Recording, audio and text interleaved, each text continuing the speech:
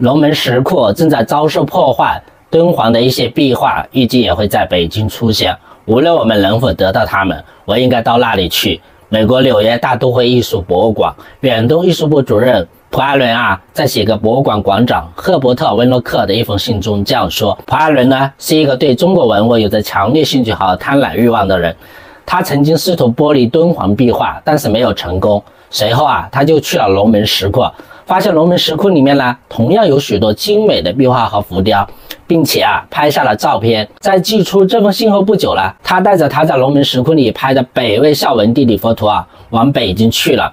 这是一幅描绘了孝文帝和他的王公贵族、宫廷大臣前往朝拜释迦牟尼佛像的浮雕。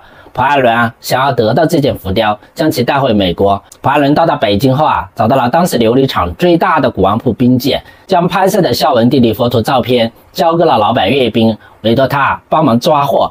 岳斌呢，是一个无耻的文物商人，他曾经参与过盗卖故宫珍宝、敦煌壁画等许多的中国文化遗产。他看到普艾伦手中的照片。装作无动于衷的样子，普艾伦说啊，可以给你一个好价钱。于是呢，两个人开始讨价还价，定下来一点四万美元的价格和五年的期限，并且啊，签订了协议。这一切办妥之后呢，阅兵啊，联络了北京琉璃厂的古董商赵鹤芳和洛阳的文物贩子马龙图，共谋盗取这件浮雕。马龙图呢，贿赂了当地保家长和土匪啊，强迫村里的石匠王光喜、王水、王惠成三人，在一个风高夜黑的夜晚啊。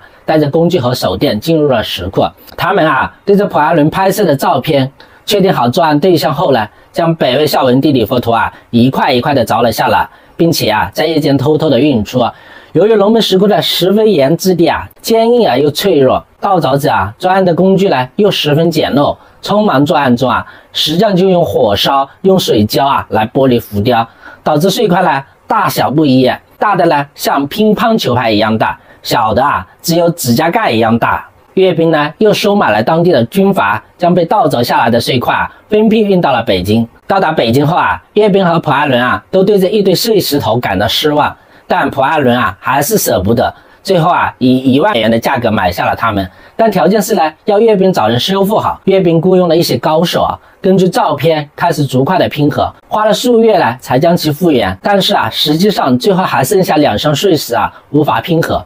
不过这件事，普艾伦当时不知道。一九三五年啊，普艾伦啊从阅兵手中接收了修复后的浮雕，他又找到了古董商代理内利赫斯，伪造了一份运货单，骗过了海关官员，将浮雕啊运到了美国。不久啊，他因为这个功绩，就升任为纽约大都会艺术博物馆的馆长。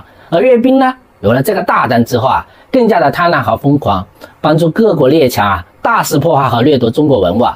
一直到一九五三年，他才被逮捕。当时啊，张伯驹夫妇啊和三百多位文化界人士联名声讨阅兵，并且呢揭露了他与普阿伦的勾结。阅兵啊被判了死刑，缓期两年执行。但是啊，一年后就在狱中病死了。哎，真是便宜了他。他被捕时呢，他在地下室里啊，还对着两箱无法拼合的碎石。时光流失啊，人们的记忆呢渐渐的模糊啊。但是啊。每当中国人啊，只要一到纽约大都会艺术博物馆啊，看到那幅呢孝文帝李佛图啊，那被凿碎的碎片，就会在我们心里头啊再痛一次。每当中国人呢拜谒这件文物啊，心中啊就会复述一本文化记忆。它现在呢虽然在明亮华丽的博物馆里展示啊，但是啊，与龙门石窟灰暗朴素的原境相比，孝文帝李佛图啊，现在已经成了文化的碎片。著名的艺术史家乌侯为此悲愤地说。他们所承载的中国文化，也因此变成了浅层的、浮皮潦草的，不再完整。完整的孝文帝李佛图啊，承载着怎样的中国文化？这需要我们追根溯源，从它的诞生说起。在下一个视频啊，我们就将探索孝文帝李佛图诞生的始末。